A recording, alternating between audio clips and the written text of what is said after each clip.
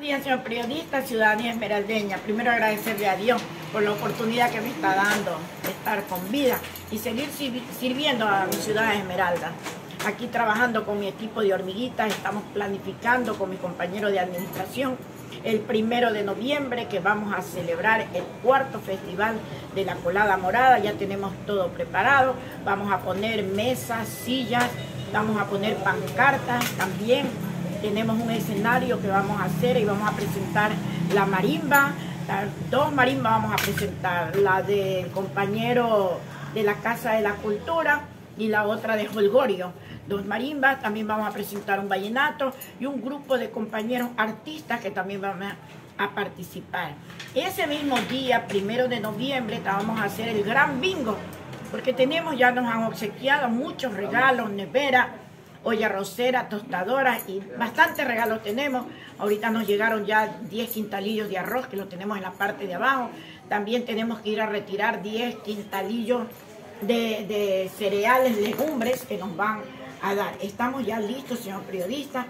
Nosotros en estos momentos, el equipo de hormiguitas sigue trabajando en la parte de adentro, sigue limpiando, sigue sacando escombros, porque ustedes saben que hay muchos árboles y los árboles botan pues sus, sus hojas, entonces las compañeras siguen limpiando, no descansamos. Queremos presentar un cementerio digno que los esmeraldeños nos merecemos verdaderamente. Los familiares de las personas que están aquí sepultadas en el cementerio también están colaborando con esto de la limpieza. Bueno, el año pasado se vio más colaboración. Este año se ve poca colaboración. Donde yo estoy haciendo un pedido que me traigan las pinturas para nosotros con el equipo de hormiguitas pintarles sus bóvedas. Bueno, no están llegando, no lo han hecho en este año y solamente quiero comunicar a la ciudadanía esmeraldeña permiso para pintar sus bóvedas, sus cruces, solamente hasta el 31 de octubre. Porque el primero de noviembre nos vamos a dejar ingresar pintores por motivo de que nosotros ya estamos en una programación. Claro, y por la aglomeración de la visita. Claro, no vamos a permitir. Vamos a tener un control, vamos a tener policía metropolitana, la policía nacional, el equipo de hormiguita, un grupo de de policías que van a venir vestidos de civil. Bueno, vamos a tener un cementerio sumamente resguardado. Tampoco vamos a permitir las ventas del mango, del lobo, no. Todo afuera. Adentro solo vamos a poner tres stands de agua que son de dos personas especiales y una madre soltera. Nadie más. Entonces, por eso invitamos a la ciudadanía esmeraldeña, venga por favor a pintar sus tumbas en estos momentos, porque el 1 de noviembre, como le vuelvo a repetir, no va a venir. De ahí el 2 de noviembre vamos a iniciar las misas desde las 8 de la mañana hasta las 5 de la tarde, porque cada uno de, los, de las parroquias, de las iglesias, van a venir a dar las misas. Entonces el cementerio, señor periodista, va a estar abierto desde las 6 de la mañana hasta las 6 de la tarde, el primero y el 2 de agosto. Es decir, no se ampliará el horario después de las 6. Todo el mundo 5 y media tiene que estar saliendo. No 6 de la tarde, hasta las 6 de la tarde lo tenemos abierto para que la gente ya vaya evacuando, ya cuando es las 6 y media ya estamos desocupados. En cuanto a la iluminación, ¿cómo, ¿cómo, está? Sí, iluminación está bien, ahorita estábamos haciendo un oficio que ya creo que lo hemos terminado para mandarle a la empresa eléctrica que nos dé un apoyo con una lámpara que tenemos quemada, entonces para que ellos vengan y por favor nos apoyen con eso.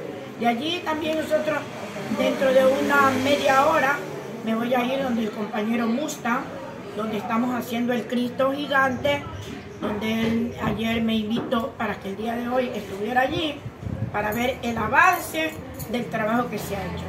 Y si no, Ciudadanía Esmeraldeña, si el 20 no lo ponemos, tenemos la plena seguridad que nosotros. El primero de enero, de noviembre, si Dios lo permite, amanecemos con un Cristo puesto, porque los compañeros de Mustang están trabajando, están poniendo todo su granito de arena, todo su empeño por hacer algo bonito y presentarlo ante la sociedad esmeraldeña. ¿Exactamente dónde va a colocar el Este grito lo voy a ubicar en la calle Don Eloy Alfaro. Allí lo vamos a ubicar.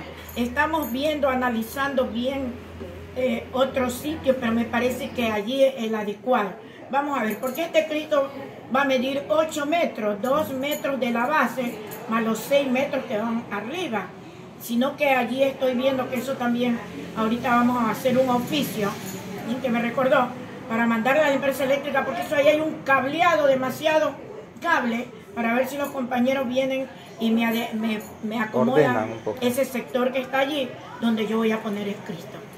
Teresita, las personas que están interesadas en participar en el Festival de la Colada Morada, ¿dónde tienen que escribirse? ¿No tienen que dirigirse?